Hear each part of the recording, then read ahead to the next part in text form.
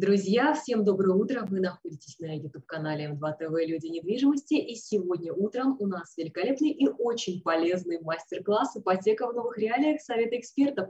Ипотека на строительство своего дома». Вы знаете, что сейчас а, ипотека на строительство частных домов – это одна из самых обсуждаемых тем, и вообще это ипотечное кредитование очень хорошо а, подогрело развитие рынка ИЖС. А, застройщики и также люди, которые хотели, мечтали о частном доме очень долго ждали ждали этого, и поэтому сегодня мы разберемся, что же здесь подробно происходит. Спикеры у нас сегодня Юлия Смоленинова, ипотечный брокер. Юлия, доброе утро. А также Мария Якупова, начальник отдела ипотечного кредитования ПАО СКБ Приморье, Примсоцбанк, город Владивосток. Мария, доброе утро. Доброе утро. Наши партнеры из Примсоцбанка также являются спонсорами нашего эфира, поэтому спасибо большое. Друзья, не забывайте, что вы тоже часть нашего эфира, поэтому вы можете задавать вопросы нашим героиням в чате. А, не забывайте, пожалуйста, об этом. Также оставляйте свои имейлы в чате эфира, чтобы получить презентацию и дополнительные материалы. Также партнер программы «Самолет Плюс» совместный проект группы «Самолет» и оператора недвижимости «Перспектива 24». Франшиза для малых агентств недвижимости с небольшим чеком входа от 200 тысяч тысяч рублей. Также, друзья, у нас есть подписка с обучающими материалами. Мы собрали более сотни мастер-классов для профиль недвижимости. Оформляйте подписку на сайте m2tv.pro. Ну, все ссылки, естественно, в описании и в чате. Ну что ж, девушки, давайте уже непосредственно перейдем а, к нашей теме, к нашему эфиру. Юлия, пожалуйста, вам слово. Что у нас сегодня происходит а, с ипотечным кредитованием в сегменте ИЖС? Спасибо большое. Всем доброе утро. Карин, спасибо большое за представление. Я Юля Смоленинова, ипотечный эксперт, коуч по ипотечному брокериджу. Ипотека занимаюсь с 2007 года. И, как Карина уже сказала, сейчас очень активно развивается ипотека на загородную недвижимость, в том числе на строительство просто бьет рекорды, если мы говорим про Москву и Питер. Я недавно была в Москве, сама из Питера. А московские ипотечные ребята, кто занимается ипотекой, нарадоваться не могут, что клиенты ушли, так сказать, а, с рынка ипотеки с новостроек и с ипотеки на вторичный рынок, больше стали ориентироваться на ипотеку на строительство и уже провели не одну, ну, так же, как и я, не провели ни одну сделку и есть чем с вами поделиться. Во-первых, хочу сначала сказать по поводу а, вообще ипотеки на а, ну, так сказать, на а, загородную недвижимость, да, собрала небольшую статистику. А, статистика у вас представлена сейчас на слайде. А, хочу вам показать, что а, не только Сбербанк и, к примеру, Россельхоз работает по а, ипотеке на загородную недвижимость. Есть тысячу и один банк, да, ну здесь не тысячу, но 20 точно банков представлены, кто еще кредитует загородную недвижимость.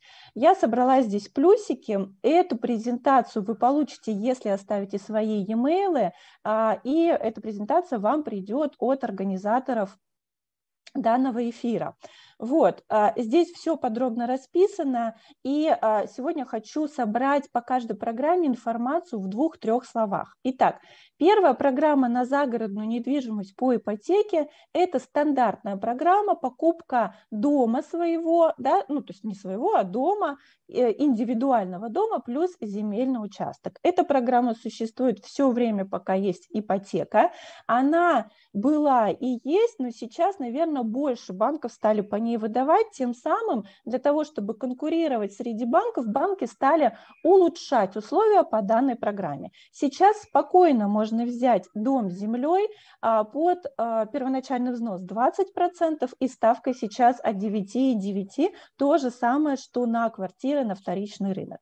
Также можно использовать материнский капитал в первоначальный взнос по данной программе. Это не запрещено, но есть банки, есть требования банки, что некоторые банки не не позволяют этого делать, здесь надо уточнять, но такая возможность есть. Дальше.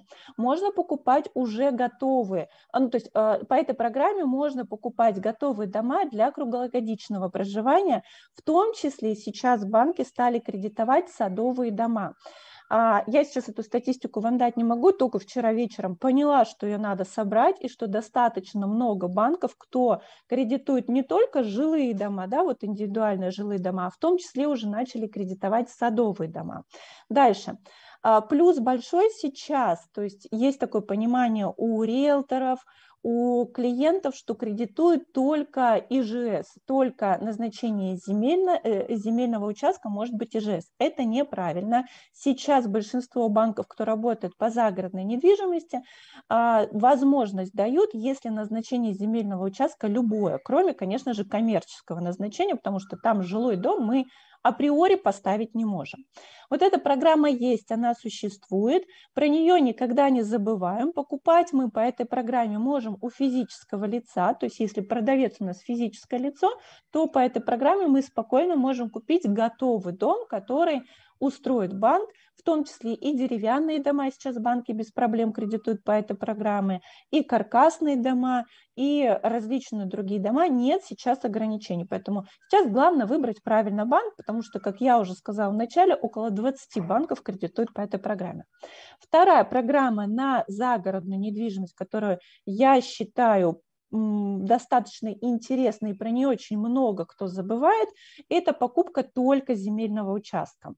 А, звонят клиенты, говорят, я хочу дом, я говорю, хорошо, смотрим дом, дом дорого. Я говорю, хорошо, покупайте земельный участок, ну, либо, конечно же, строите, а, это будет дальше уже программа со мной разбираться, но покупка земельного участка тоже вариант для клиента. Он покупает в ипотеку земельный участок и строит там хоть шалаш на этом участке, делает все, что хочет, да, но земельный участок он отдельно покупает. Такая возможность есть. Если мы вернемся обратно на мой слайд, здесь, конечно, плохо видно, оставляйте почту, получите это, увеличите и посмотрите у себя. Ну, вот так вот увеличу, да, посмотрите, сколько сейчас банков, это раз, два, три, четыре, пять, шесть, семь, восемь, 9, 10, да, 9 банков, получается, 10 нету, 9 банков, кто занимается только кредитованием земельных участков без всяких построек, то есть можно купить, еще раз повторюсь, отдельно земельный участок. Основные условия по этой программе – секундочку. Основные условия по этой программе. Первоначальный взнос также от 20%. Ставка тут чуть-чуть повыше. Это 10,6 начинается программа.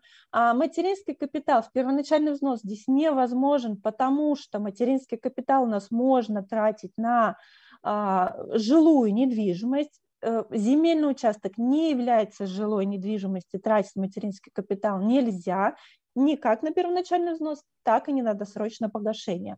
Ну и назначение земельного участка также может быть любое. Поэтому вот такая программа тоже есть, про нее, если вы занимаетесь а, как риэлтор, занимаетесь загородной недвижимостью, пожалуйста, не забывайте, потому что иногда реально клиент хочет купить земельный участок и строить там, э, что он посчитает нужным, э, и никаких ограничений тогда у него нет по требования, ограничения по возведению данного дома. Вот как раз у нас сегодня Мария из Примсоцбанка, я знаю, у них очень крутая программа именно по покупке земельного участка и постройки. Я передаю ей слово, чтобы она более подробно рассказала про то, что они предлагают, как Примсоцбанк, по а, покупке а, загородной недвижимости по ипотеке. Мария, вам слово. Спасибо, Юлия. Да, коллеги, а, очень рада буду вам рассказать про эту программу, тем более у нас такие в ней небольшие изменения а, произошли. На самом деле а, Примсоцбанк может прокредитовать земельный участок без первоначального взноса абсолютно. И мало того, что можно еще деньги сверху взять, но у нас э, ограничена сумма кредита. Мы максимум можем по этой программе выдать сумму кредита 2 миллиона рублей. Ну, то есть это либо земельный участок у нас получается в пределах стоимости да, 2, до 2 миллионов рублей, а, либо это какие-то недорогие объекты, например, дача. В чем а, преимущество а, нашей программы? В том, что можно на земельном участке иметь объект. Например, нежилой – это сад, либо условно там может это даже сгоревший э, домик стоять Пусть хоть он стоит на кадастровом учете, может не стоять на кадастровом учете. А, и в чем изменения произошли? А, то есть, например, клиент выбрал земельный участок за миллион, а раньше, но на нем стоит э, какой-то ну, небольшой домик, да, условно он там может подачу, либо он вообще планирует его потом снести, этот э, домик, и построить хороший дом. А, в перспективе. Но этот дом, он условно, мы же вызываем оценщика, и оценщик оценивает объект недвижимости, а в данном случае, если этот дом поставлен на кадастровый учет, то идет оценка и земли, и дома. Так вот, раньше мы выдавали плюс 50% сверху наличными от стоимости только земельного участка. То есть дом мы вообще не принимали во внимание, хоть он дорогой, хоть дешевый объект. То есть, условно, если клиент покупает за миллион земельный участок, мы максимум ему выдаем под этот объект полтора миллиона. Все, это потолок. А сейчас, если у нас э, еще плюс добавляется жилой дом, и, к примеру, он оценен в 500 тысяч рублей, то мы можем еще плюсом добавить денег сверху, 50% еще от стоимости дома.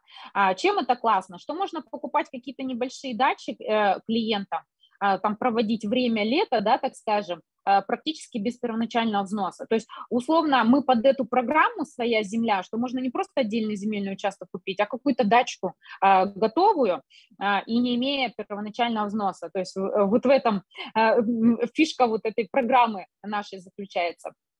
Если пришел к вам клиент и говорит, слушайте, ну 2 миллиона мало, вот у меня земельный участок дорогой, там, например, 5 миллионов рублей, не вопрос. Здесь мы подключаем программу ИЖС, также наша банковская программа Примсоцбанка, и схема абсолютно та же самая. То есть мы можем а, выдать кредит плюс 50% сверху от рыночной стоимости. То есть если земельный участок у нас 5 миллионов рублей, мы можем выдать сверху плюс 2,5. То есть сумма кредита у клиента составит 7,5 миллионов рублей. В залоге только земельный участок, при этом подрядчика аккредитовать не нужно, но здесь, так как уже программа ИЖС, то здесь у нас уже должен быть договор подряда на строительство а, жилого дома. Подрядчика не аккредитовываем, клиент забирает наличные деньги, не обязательно переводить деньги безналом. Ну, то есть вот все минусы, которые подрядчики нам высказали по госпрограммам, по которым мы кредитуем, дальневосточная, семейная,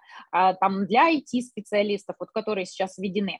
Подрядчики говорят, ну, мы не хотим аккредитовываться, потому что вот это волокитная, да, бумажная работа, и мы не хотим безналичные переводы денежных средств, вот хотим наличку, принесите нам. Учитывая все эти а, хотелки, так скажем, подрядных организаций, мы вот создали вот такой продукт.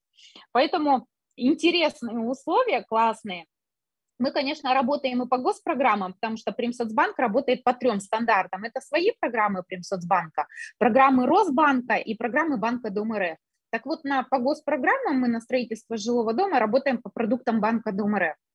Э, это льготные субсидированные ставки. А по своим программам это если уже клиент хочет простой вариант, э, без всяких заморочек, но ставка не субсидированная, конечно. Это уже, как Юлия обозначает, то есть ставки минимальные, они уже идут, ну, то есть в районе, видите, на строительство жилого дома там еще можно после окончания строительства снизить ставку на два пункта, и то есть там ставочки уже будут в районе там 9,5-10,5% э, годовых пока дом строится, там ставка будет 11,6, вот так, 12 э, там с копейками.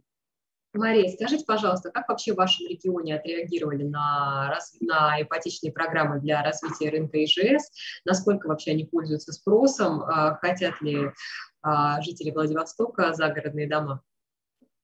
Да, очень популярная эта программа, но единственное, что здесь, смотрите, у нас есть дальневосточная ипотека, которая тоже подразумевает строительство жилого дома. И, конечно же, все хотят э, взять ипотеку под 1,2%, 1,7%, э, ну, то есть вот под такую льготную ставку. Естественно, тут народ избалован дальневосточной ипотекой и берут обращаются и по обычным стандартным программам, но, конечно, каждый клиент приходит и говорит, хочу дальневосточную. А, но когда начинаешь с клиентом разговаривать, вот а, бывает как, эм, э, по дальневосточной ипотеке там нужно закладывать свою недвижимость, квартиру э, в залог. Не всегда она есть. А, другой момент, если, например, предлагать семейную ипотеку, нужна аккредитация компании подрядной. Обращаются клиенты в подрядную организацию, которая аккредитована, они стоимость строительства выше выставляют. То есть бывает, что строительство там, на миллион-полтора дороже. И, то есть, э, и это переплата по процентам по обычной программе. То есть, когда клиенту делаешь расчет и выбираешь, он как бывает, что и выбирает обычные несубсидированные ставки. Мария, спасибо. Есть что у вас угу. еще по ипотечной программе? Нет, я все. Друзья, а, так, у нас есть вопрос, в каких регионах возможно мы из Удмуртии и Ижевска? Я так понимаю, не к Марии вопрос однозначно. А, Юлия, можете ответить на наш вопрос вообще, на вопрос нашего зрителя, в каких регионах возможно мы из Удмуртии и Ижевска? А, возможно, про то, что я говорила, строительство, ой, не строительство, а покупку дома, а, либо земельного участка, да, то есть это возможно в любом регионе присутствие банка. Надо смотреть, какие у вас банки есть. А, я в Удмуртии, более того скажу, до февраля месяца, у меня все мерится февралем, до февраля месяца точно проводила сделку по покупке дома с землей, то есть готового дома с землей от физического лица. Поэтому э, банки надо смотреть, какие у вас есть в Удмуртии, и выбирать. На самом деле у вас достаточно много банков, насколько я помню, около 8-10 банков, которые готовы кредитовать загородной недвижимости. Понятно, что под а, только земельный участок, где вообще 9 банков, список будет меньше, да, но вообще спокойно загородную недвижимость можно у вас прокредитовать. Юлия, спасибо, друзья. Я надеюсь, что мы были вам полезны, поэтому продолжайте задавать свои вопросы в нашем чате. Ну, а я знаю, что у Юлии еще есть что нам рассказать. Да, у меня есть что рассказать. Сейчас я включаю свою презентацию. Буду продолжать дальше по презентации. Так, мы с вами разобрали а, два две программы, которые есть сейчас. Это покупка готового дома с землей от физического лица по обычным ставкам и покупка только земельного участка. Дальше я перехожу а, к нашим, ко всем государственным программам, переключаемся на них, потому что сейчас а они набирают колоссальные обороты в рынке загородной недвижимости, ипотеки. Раньше их вообще не было на загородной недвижимости. Все наши господдержки и семейная ипотека, они были использованы только на покупку а, новостроек, а, либо там на переуступку, да, если про семейную говорить, в новостройке. Но понятно, что по договору купли-продажи застройщика тоже можно было покупать, но, наверное, сейчас таких объектов в больших регионах даже и нет. Все скупается по договору долевого участия до момента ввода в эксплуатацию объекта. Вот. Но я сегодня говорю именно про покупку дома с землей. Семейная ипотека распространяется на эту программу, если у нас дом с землей продаю, продается от ООО и ИП. Я знаю многих а, подрядчиков, да, они подрядная организация называется, не застройщики, а подрядная организация, это те, которые строят загородную недвижимость, да, то есть они как по договору подряда строят, да, либо вот они сами строят и продают потом от своего а, юридического лица, либо ООО, либо ИП. Можно купить, можно купить а, если вы посмотрите первый слайд, давайте вернемся к нему, я опять его чуть-чуть увеличу, чтобы было видно. Если мы покупаем загородную а, по семейной ипотеке, покупаем загородную недвижимость от ОИП по ДКП, то есть по договору купли-продажи, либо от ООО тоже по ДКП, то вот, пожалуйста, сколько банков у нас готовы это кредитовать. Дальше есть возможность, и сейчас я уже знаю такие коттеджные поселки на территории Российской Федерации, которые продаются по договору долевого участия. И здесь тоже есть банки, их, конечно же, немного, да, потому что это только началось, а, и строительство по договору долевого участия в рамках 214 ФЗ коттеджных поселках, а, так еще, ну и банки уже начали это кредитовать. Тоже это есть, да, вот, пожалуйста, сколько банков у нас здесь представлено. А дальше переходим к презентации, сейчас я ее уменьшу, чтобы слайд был весь виден вам. Вот, Поэтому эта программа есть, и клиенты стали приходить у меня сначала пытаться построить самостоятельно. Это достаточно сложно, я сегодня это буду рассказывать, но в итоге мы а, переходим к тому, что люди покупают просто по семейной ипотеке от ИП, либо ООО, чаще это сейчас от ИП продаются дома по а, тому, что а, система налогообложения у ИП, она ну, э, более щадящий, нежели у ТО, который продает дом, вот, и спокойно можно выходить на сделку. Но надо такие дома, конечно же, искать. Итак, что же семейная ипотека нам предоставляет? Первоначальный взнос от 15%, ставка до 6%, в основном это 5,3, 5,7, 5,5 можно получить. Сумма кредита, если мы покупаем в Санкт-Петербурге, Московской области, Ленобласти, Москва до 12 миллионов, другие регионы до 6 миллионов. Здесь будьте, пожалуйста, предельно аккуратны. А, Московская область, хочу купить в Московской области, говорит клиент, а потом выбирает, к примеру, в Калужской области, которая, ну, там, 80 э, километров от а, Москвы, да, то есть бывает так, что нам мы в 12 миллионов уже не проходим, потому что есть требования от государства по этой программе, что максимально 6 миллионов. То же самое с Ленобластью, если это переходит в Новгородскую область, либо в Псковскую область. Я с этим сама на практике сталкивалась. Дальше. Материнский капитал в первоначальный взнос здесь возможен, потому что идет покупка загородной жилой недвижимости. Ну и назначение земельного участка. А, Все зависит от банка, но опять же а, есть э, банки, которые кредитуют назначение земельного участка в любое, нет никаких ограничений. Вот это что касается семейной покупки на семейной ипотеки на покупку дома с землей от ОИП.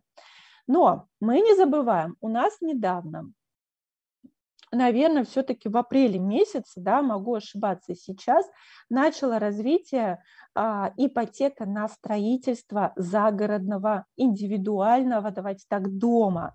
И эта программа, она все больше и больше набирает обороты.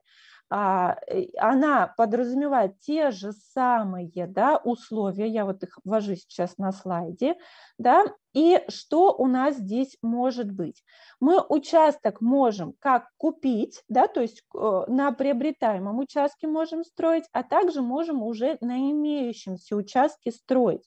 К примеру, у меня есть клиенты, которые купили земельный участок в ипотеку а, год назад, там два года назад. Они, конечно же, не знали, что будет эта программа, но они купили с тем, что они когда-то накопят на строительство дома, ну, когда-то сложно такой период, а они, соответственно, обращаются сейчас ко мне для того, чтобы на имеющемся участке, который у них уже есть в собственности, построить тот дом, который они хотят, и взять всего лишь кредит под 6% годовых. Да, это максимальная ставка, там 5,3, 5,5. Я указала до 6, потому что банки сейчас присоединяются к этой программе, да, у нас буквально ВТБ банк с 4.08 запустил ипотеку на строительство своими силами, да, в том числе и по семейной ипотеке, и вот все больше и больше банков присоединяется, я не могу сказать, что это там только 5,3, это до 6% эта ставка.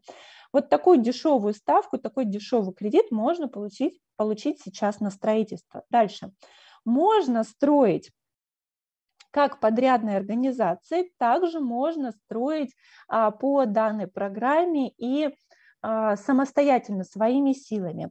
Подрядная организация, она может быть аккредитована в банке, но есть банки, к примеру, этот банк Сбербанк, где подрядная организация не требует, а, ну, то есть у требования по подрядной организации нет, то есть может быть любая подрядная организация, которая строит дома.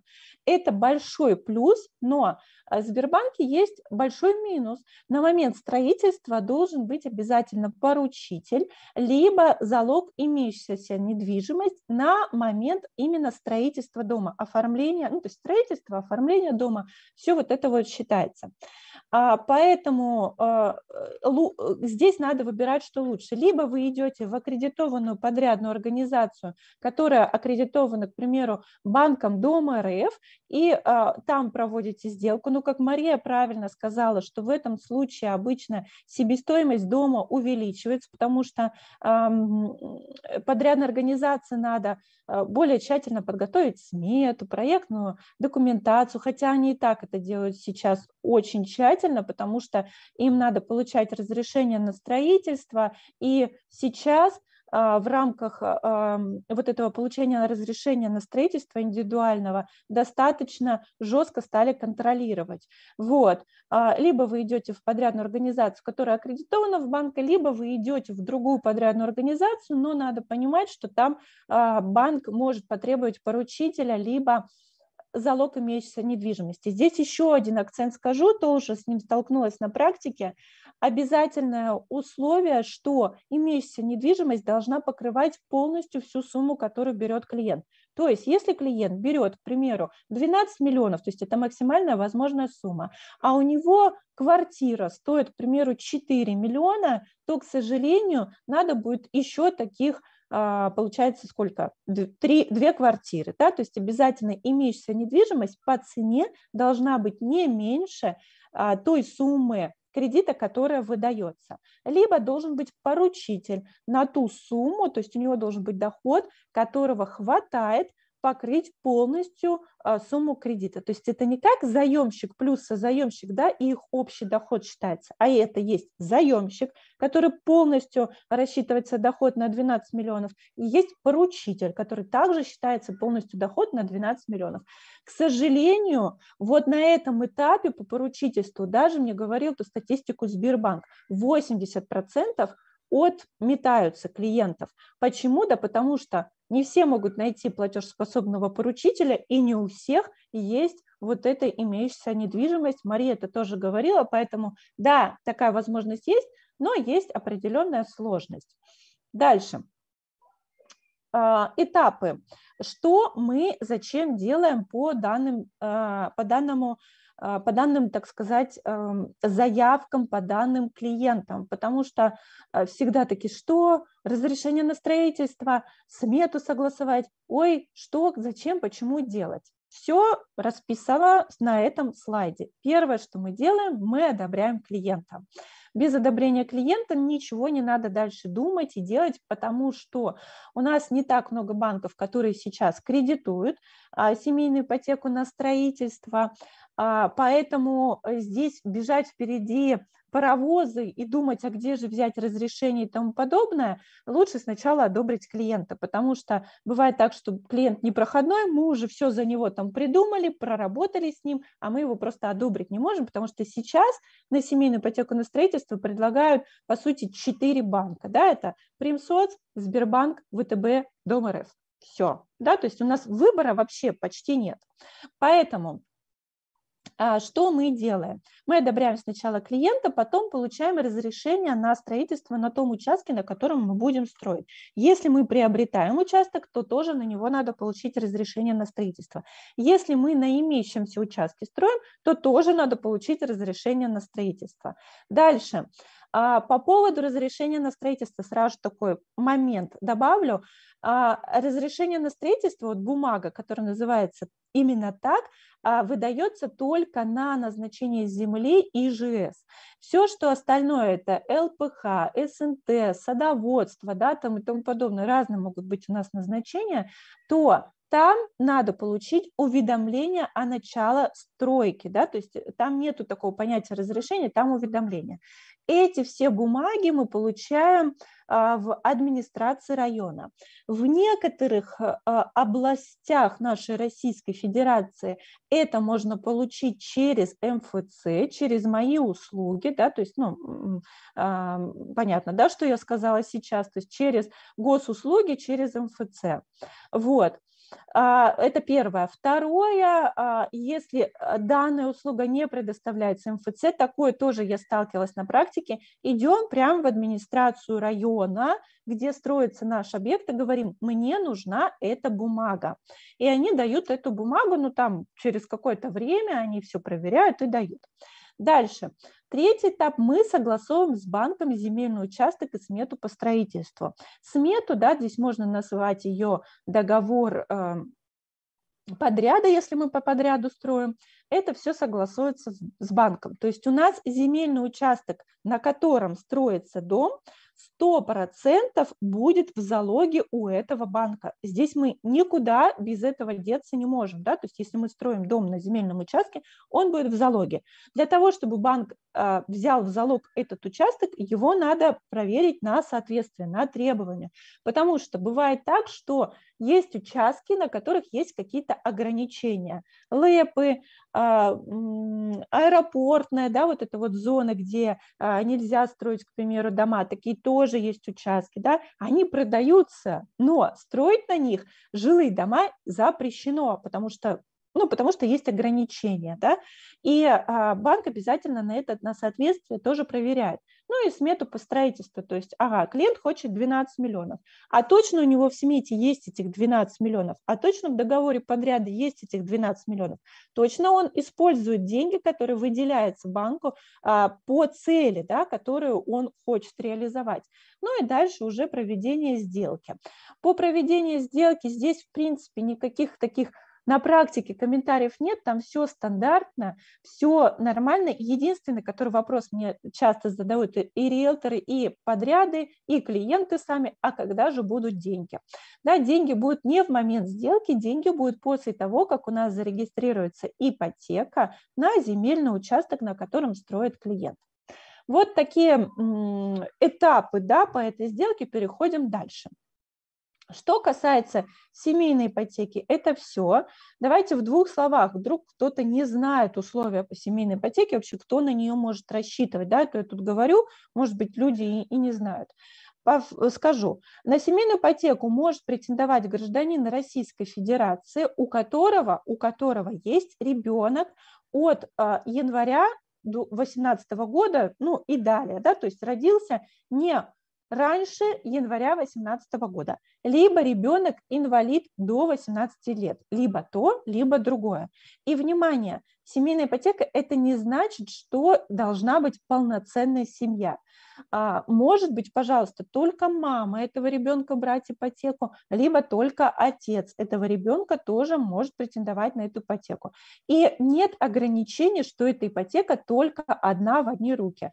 Пока таких ограничений нет, можно брать хоть 50 ипотек, если позволяет доход а, по семейной ипотеке. Нет никаких ограничений, да, просто все думают, что если государство, то это там один раз и все. И еще миф по этой ипотеке, что надо потом выделить долю ребенку, да, который вот у нас подходит под эти условия, ну, на основании которого у нас выдается эта ипотека.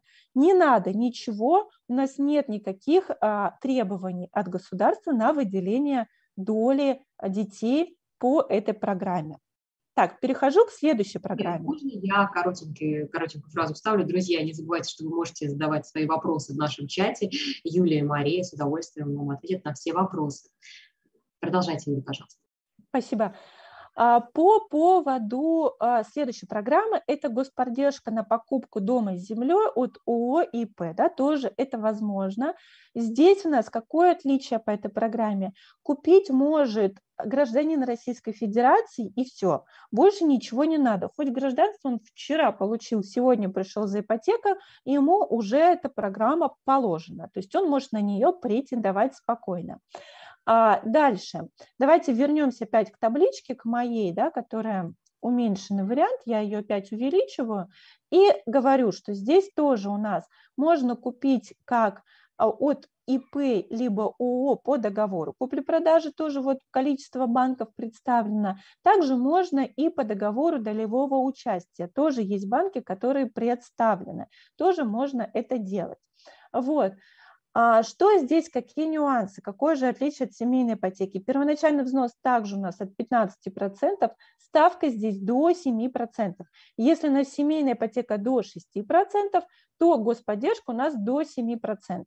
А претендовать уже сказал, что могут гражданины Российской Федерации, любой гражданин Российской Федерации, в браке, не в браке, с детьми, не с детьми, вот вообще любой. Неважно, сколько ему лет, да, то есть тоже думают, что это все для молодых. Нет, 60 лет – хорошо, 65 а, лет тоже хорошо. Дальше уже там а, в зависимости от условий банков, готовы ли они кредитовать такого клиента.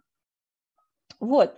Сумма кредита у нас такая же, как и по семейной ипотеке, 12 миллионов. Это СПБ Москва, Московская область и Ленобласть. И другие регионы до 6 миллионов. То есть вот такие вот основные требования именно по этой программе. Материнский капитал в первоначальный взнос тоже возможен. Назначение земельного участка может быть любое, опять же, кроме коммерческого. Да, то есть то, где мы можем строить жилой дом. То есть, ну, понятно, что ООО и ИП, ну, не могли они незаконно построить дом, они должны это делать в рамках э, нашего законодательства. То есть нельзя построить э, там не жилой дом и вот его по господдержке продавать. Только жилой дом можно продавать по господдержке. Дальше, господдержка на строительство, она тоже распространяется, тоже все те же самые банки, которые я назвала. А здесь что у нас может быть? В принципе, я все озвучила. Единственное, вот последний, да, здесь пункт. Строительство возможно либо своими силами, то есть хозяйственным способом, либо подрядными организациями, да, которые аккредитованы, как я уже сказала, и которые не аккредитованы тоже можно, все зависит от банка. Еще раз повторюсь, в Сбербанке у нас можно любую подрядную организацию, вообще никаких требований к подрядным организациям нет. Я там проводила уже не одну сделку, и у меня уже подрядов ну, вот этих подрядных организаций. Было штук, наверное, 5-6, да, и а, эти организации, они могут быть любые, никаких требований нет, ничего не требуется, потому что некоторые такие, что, почему? Э, да потому что вся, э, все риски банка, а, все риски, которые есть, банк кладет на клиента, да, то есть тем самым он и требует и поручителя, либо залог имеющейся недвижимость, то есть вот оттуда все а, ноги и руки, так сказать, и растут, потому что у нас не аккредитованная организация, она никак не проверена банком. Дальше, ну, либо мы идем в банки, где у нас аккредитованная организация, это Дом РФ, либо Примсоц, и, пожалуйста, у них проводим эту сделку через подряд. Что я здесь хотела еще сказать интересного и больше заострить внимание на подрядной организации, больше сказать про своими силами.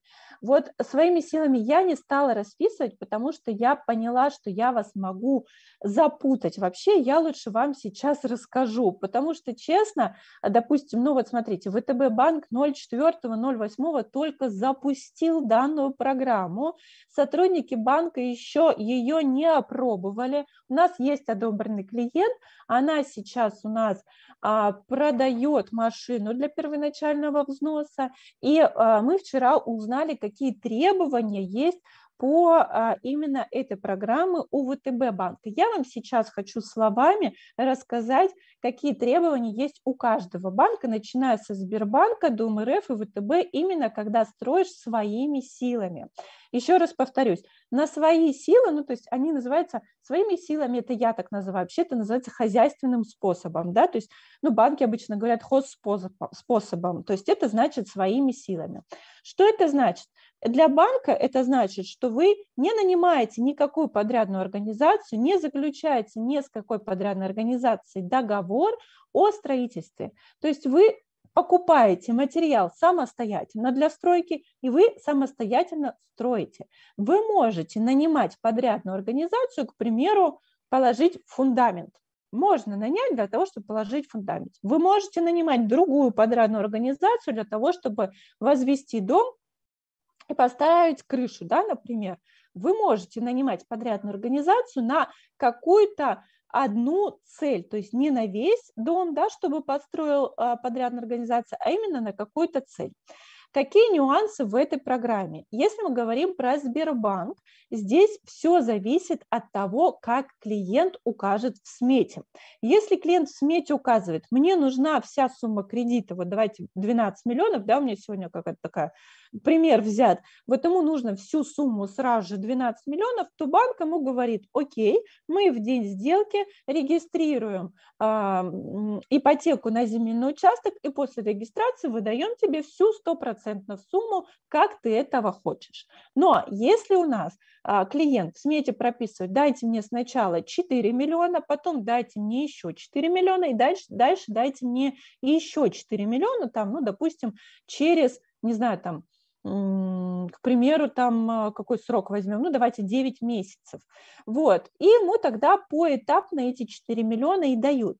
А какой плюс, то есть, э, опять же, большинство клиентов, с которыми я общаюсь, которых я консультирую, работаю с ними, риэлторы, такие, о, сразу же хапнуть, ну, извините за такое выражение, сразу же взять этих 12 миллионов, о, это здорово, давайте-ка я возьму этих 12 миллионов сразу же, это так круто, а на самом деле мы же не покупаем весь строительный материал на стройку сразу же, мы покупаем его поэтапно, мы не будем покупать сразу же крышу, если у нас еще даже фундамент да, не залит. Поэтому а, и э, какой плюс, когда выдается траншами кредит, что клиент платит только за а, кредит, платит с той суммы, которая выдалась. Если у него не выдается вся сумма кредита сразу же, то он и берет ту сумму, на которую выдалась. То есть выдалось ему 4 миллиона, он из 4 миллионов платит какое-то время. Дальше ему выдалось плюсом еще 4 миллиона, он уже с 8 миллионов платит какое-то время. Вот это вот надо понимать и объяснять клиенту, что не всегда 12 миллионов взять и сразу же вот пойти с ними выгодно да, для клиента. Это первое. Вторая, какая у нас еще здесь момент есть – а, на а, договор подряда в Сбербанке, я сейчас говорю про Сбербанк, а, строительство может идти три года, а если своими силами, то Сбербанк дает всего лишь 12 месяцев на стройку.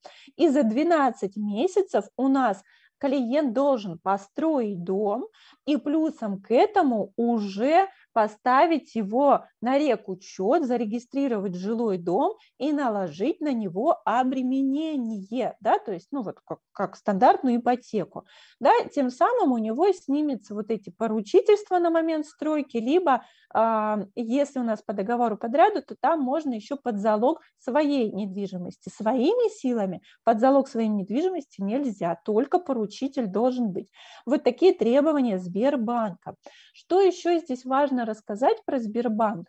А, вот, то есть 12 месяцев, если клиент не успевает построить, да, потому что своими силами клиент рассчитывает самостоятельно, да, срок строительства. И мы не забываем, что у нас сейчас август, лето и все хорошо, но скоро наступит зимний период, и, к сожалению, в зимний период, ну, стройка, наверное, возможно, я не строитель, не знаю, а, но не всегда там можно что-то в зимний период сделать, да, там залить фундамент, я знаю, что не заливают фундамент в зимний период, ну, что-то, какие какие-то работы нельзя сделать. И иногда клиенты, которые сами строят, они просто забывают про этот зимний период, ну, либо считают, что можно делать все, да, вот, и а, закладывают 12 месяцев, и в 12 месяцев не успевают. И сразу же у меня вопрос у всех клиентов, а что же будет, если я не успею?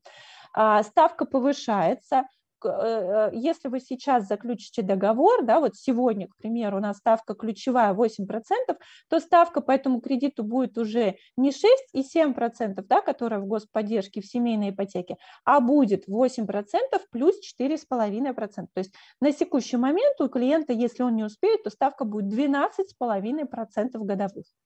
Вот такие есть требования, и э, часто вопрос задают, а можно вот если я успею потом вернуть на господдержку либо семейку? Нет, нельзя. То есть если не успели, то все, извините, ставка 12,5%, но на самом деле я не считаю, что эта ставка большая, даже 12,5 на, 12,5 на возможности самостоятельно построить дом своими силами это, ну, мне кажется, все равно достаточно хороший такой возможность нам дает сейчас и государство, и банки. Так, дальше. А, второй, пошли по второму банку. Банк Дом РФ. Банк Дом РФ, он а, своими силами выдает траншами, то есть если в Сбербанке сам клиент говорит, мне надо траншами, мне не надо траншами, то а, в Дом РФ, внимание, пожалуйста, своими силами можно строить только траншами. Там 4 транша. А, э, либо 4, либо 3. Если у нас приобретение участка да, зашивается ну, как бы в кредит, да, если у нас нет имеющегося участка, то там 4 транша. Если у нас соответственно, а, э, имеющийся участок, то там три транша. Каждый транш может быть не более 40% от стоимости всего кредита. Да, то есть вот у нас мы купили участок, это один транш. Дальше а, три этапа у нас. А, фундамент, коробка и крыша, и дальше отделка. Обычно, понятно, коробку и крыша самое дорогостоящее, то есть туда уходит обычно, ну вот сколько я клиентов проводила, они самостоятельно составляли там смету, тоже надо составить банку, а там самая большая сумма у нас выходит, там обычно 40%. А других два транша вы можете разбить, к примеру, 30 и 30, да, то есть 30, 30 плюс 40 будет 100, либо 20, 40 и сколько 40, да, получается. То есть вот это надо понимать. И внимание по Дому РФ обязательно за каждый транш необходимо отчитываться. Что это значит? Клиент должен предоставить, что а, да, он деньги там, допустим, а, ну давайте 12 миллионов, а, за 4 миллиона мы купили участок, не знаю, где такие участки, купили за 4 миллиона участок, осталось 8 миллионов. Вот у нас первый транш 2 миллиона, да, второй транш давайте 4, и следующий транш тоже 2 миллиона. То есть, ну вот, расписала вам. И 2 миллиона первый транш должен подтвердить, что все использовано, что все квитанции предоставлены об оплате, к примеру, там песка на 500 тысяч, грунта, да, там гравики на 500 тысяч, что там, арматура на миллион, вот, ну, я не знаю, сколько стоит, я сейчас пример, да, называю, вот это все он предоставляет, что все чеки у него есть, все а, платежки есть, и плюсом еще обязательно фотографируют это, а, а, оценочные компании, которые аккредитованы Дом РФ, им это все фотографируют и предоставляют эту всю информацию в банк. Вот.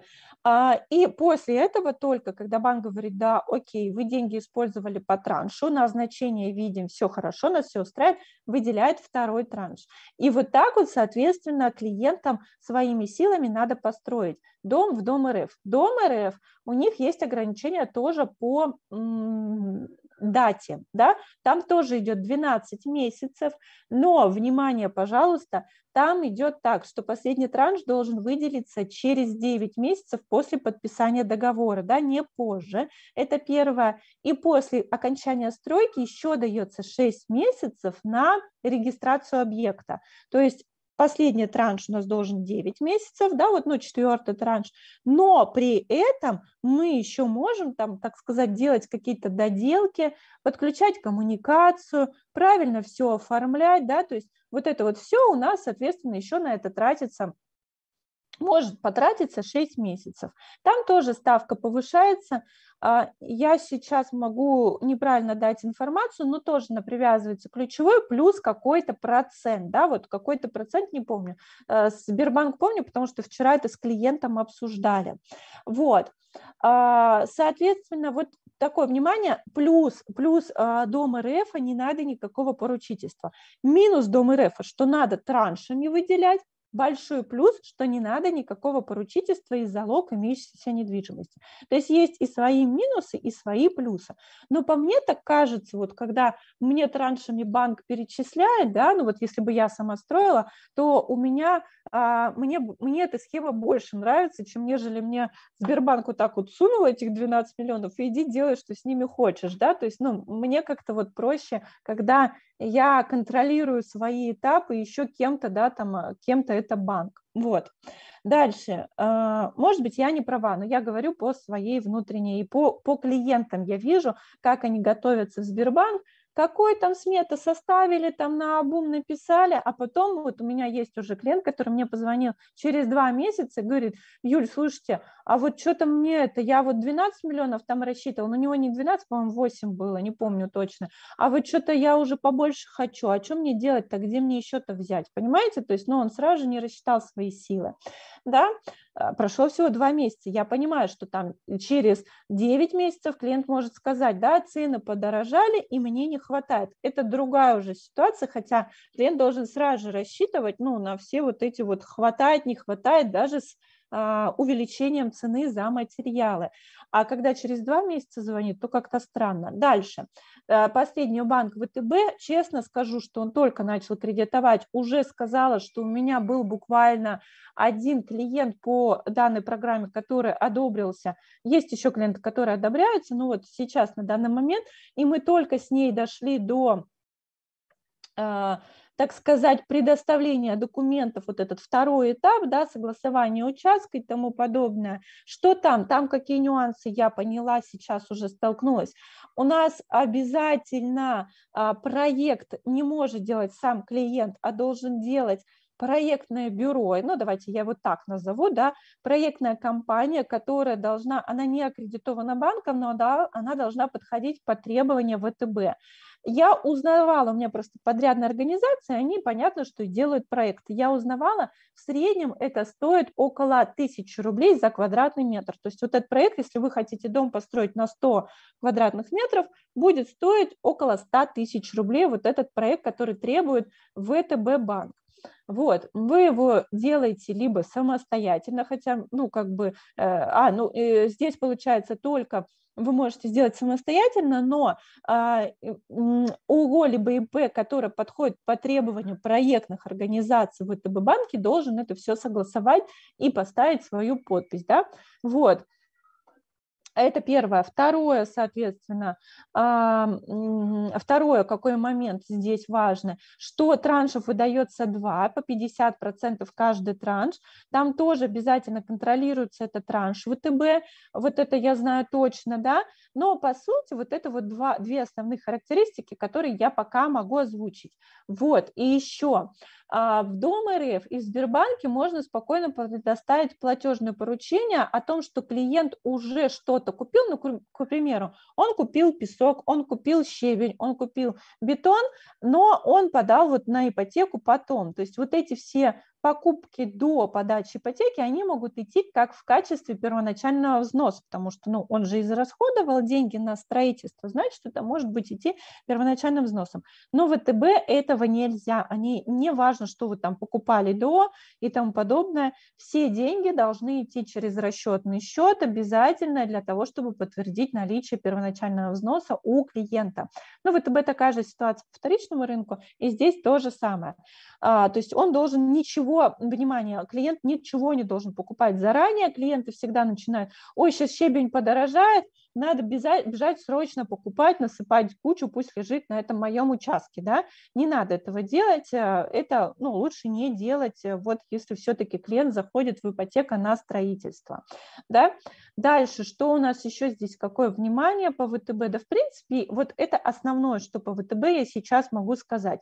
По программам, да, там есть различия, именно по программам, что я имею в виду, по условиям к э, клиенту, да, какие банк выставляет условия. Там, конечно же, есть различия, там есть различия небольшое в ставках, 5,7, где-то это 6%, где-то это 5,3%, то есть все зависит от банка.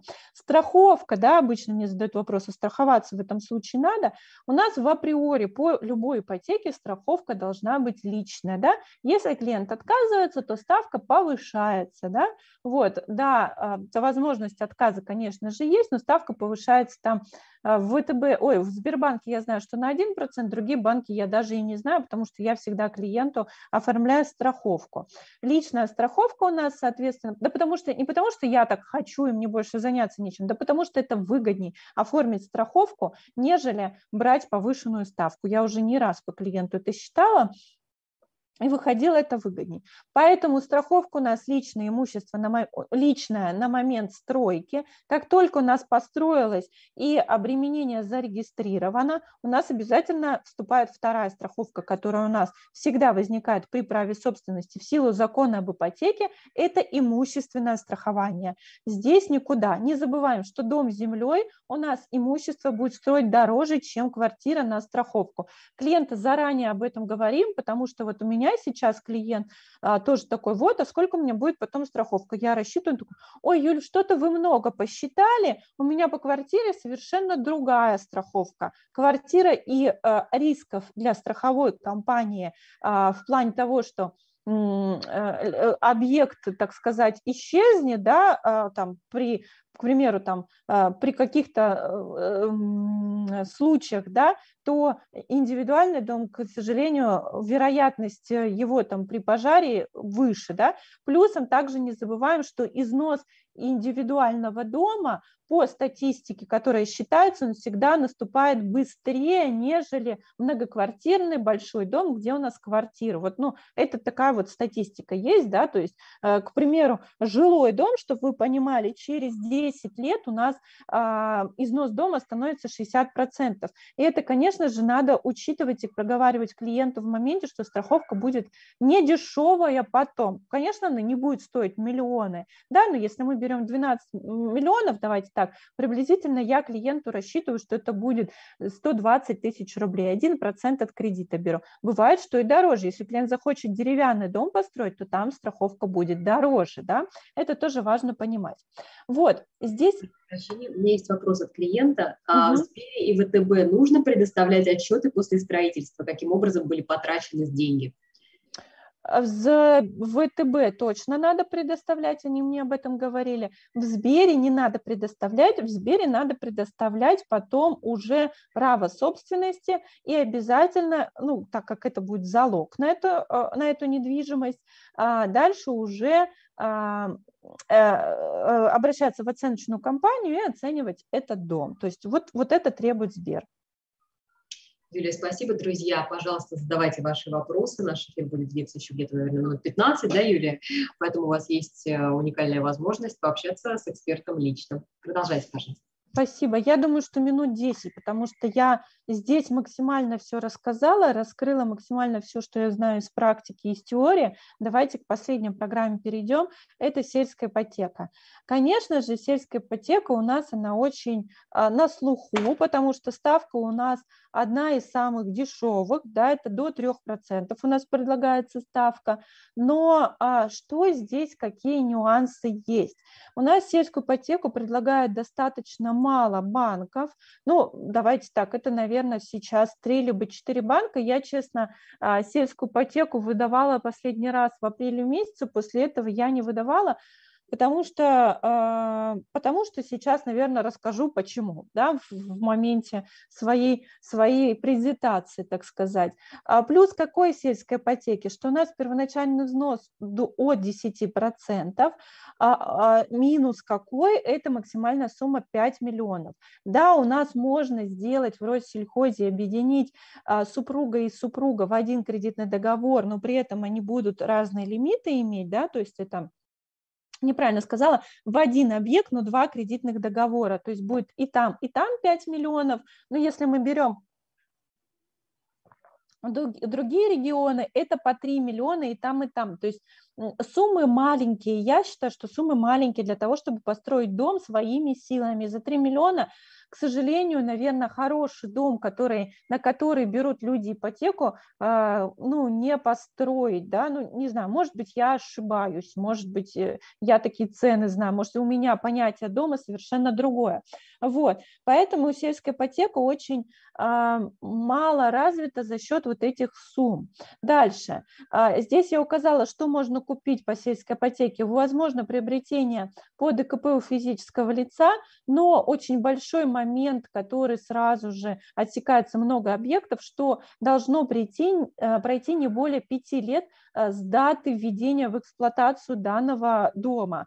Вот ну, вот отсекается достаточно много, потому что дом вводят, дом доделывают, в доме живут, и физическое лицо продает его не сразу же. Конечно, если это не бизнес, да, у этого физического лица строить дома и продавать, да, сейчас таких, кстати, достаточно много а, людей, которые вот ушли в загородную недвижимость, строят и продают, да, с большим а, разницей и зарабатывают на этом.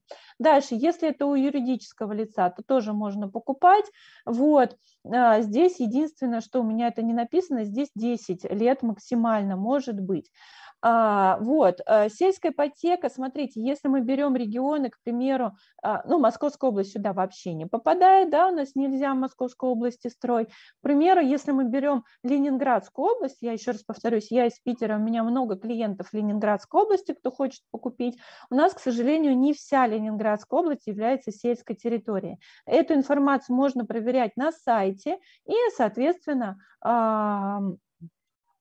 после проверки, соответственно, понимать, можно ли там вот этот а, дом приобрести. Также, конечно же, можно строить, но строить по сельской, на сельской, по сельской ипотеке на сельской территории нельзя а, своими силами, надо строить подрядными организациями, которые аккредитованы в банках. И опять же, а, эти подрядные организации всегда цену делают выше, нежели а, вы делаете цену, а, ну там, к примеру, если вы к нему просто придете, к этой подрядной организации.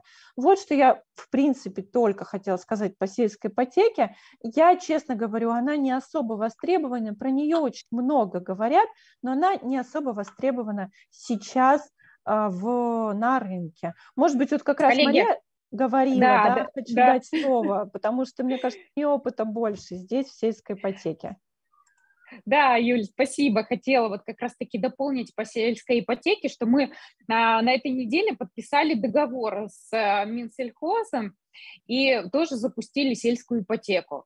А, поэтому э, мы ее, так скажем, э, сразу скажу, что тоже опыта маловато, потому что вот только на стадии подписания – все клиенты, которые у нас были одобрены, мы их сейчас э, готовим в реестр для согласования с Министерством сельского хозяйства.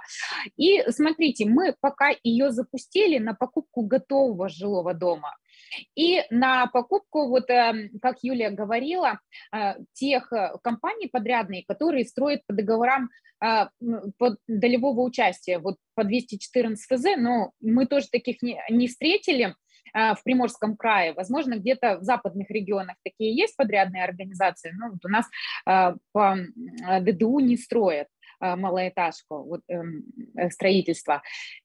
Ставочка у нас 2,8%, 10% также первоначальный взнос, э, все э, стандартные требования Министерства, э, Министерства сельского хозяйства в части сельской ипотеки. А, будем пока готовым жилым домам, э, стартанем, поработаем, а там уже посмотрим, будем запускать или нет э, на строительство жилого дома, то есть программу ИЖС. Так что будем тоже осваивать продукт.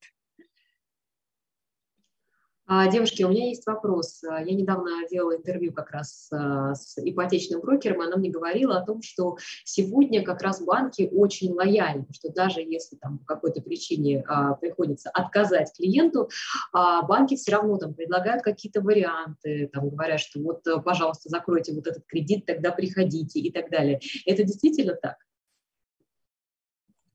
Да, конечно, э, когда клиент приходит, э, по максимуму эм, выуживаешь, так скажем, у него информации и уже с этой информацией работаешь. То есть иногда клиент приходит с запросом на одну программу, предлагаешь вообще кардинально другую. А, то есть из разговора понимаешь, иногда бывает клиенты там приходят э, с одной целью, потом понимаешь, что вообще там а, у него э, там условно раздел имущества, ему нужно сделать рефинансирование с целью там замену заемщиков, а, при, а приходит, говорит о другом совсем, то есть там какие-то сделки между родственниками, там выкуп бывшей доли, ну то есть вот а, казалось бы клиент Э, приходит, спрашивает, можно я там у своей бывшей жены куплю э, недвижимость, а получается, что вариант совсем простой и более прозрачный, и более дешевый, так скажем. И также у клиента, конечно, интересуешься, то есть э, бывает, что более лояльно клиентов смотрят, когда снижают кредитную нагрузку, то есть предлагаешь какой-то кредит к закрытию, посмотришь, либо повышенный первоначальный взнос клиенту говорим, а давайте там вот вы побольше первоначального взноса внесете.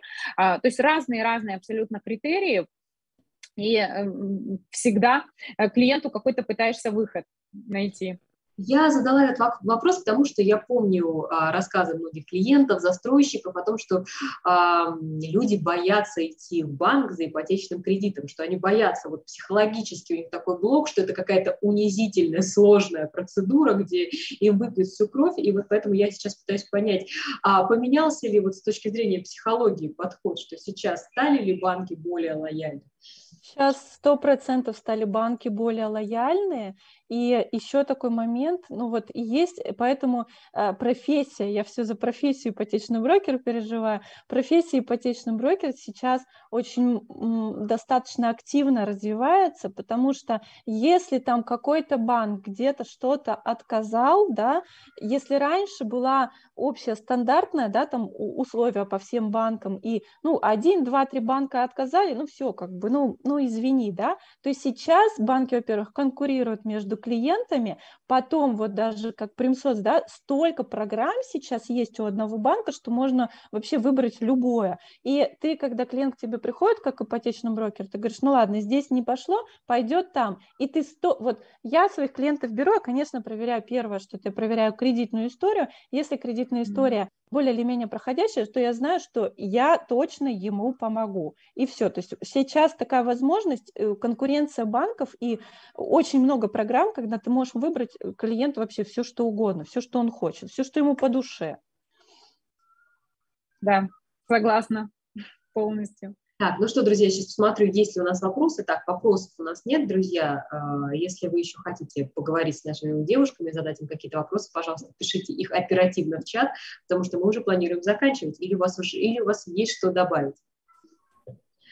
Давайте мы подождем тогда еще чуть-чуть наших зрителей. А скажите, пожалуйста, вот сейчас, да, такая волна, сейчас так популярна ипотека, популярны различные ипотечные программы на ИЖС, в принципе, о загородном рынке последние там два года очень активно говорят. Как вы думаете, эта тенденция сохранится в ближайшее время?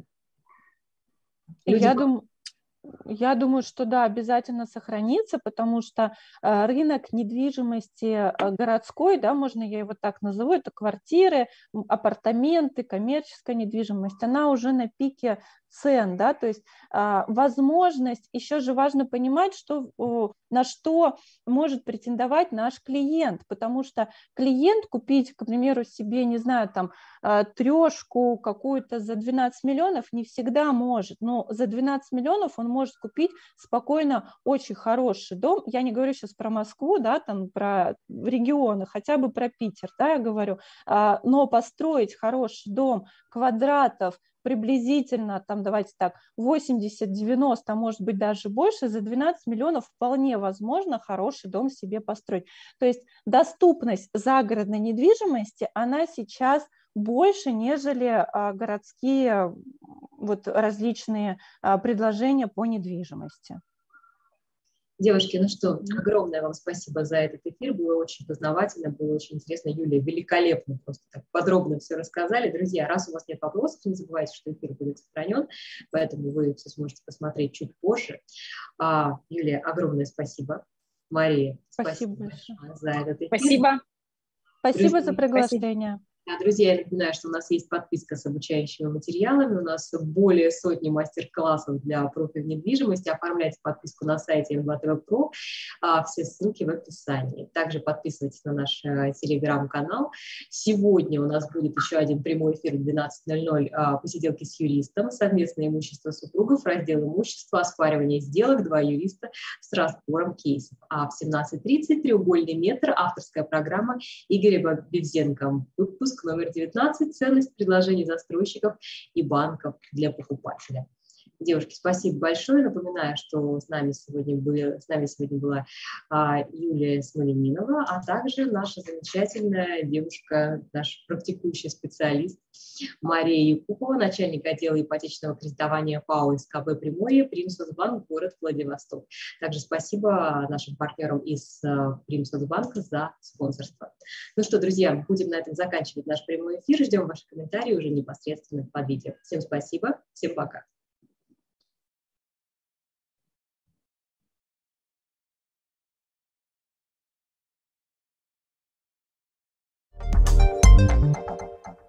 риэлтор, сейчас ты либо быстрый, либо мертвый. Если вы все еще по старинке пользуетесь ипотекой,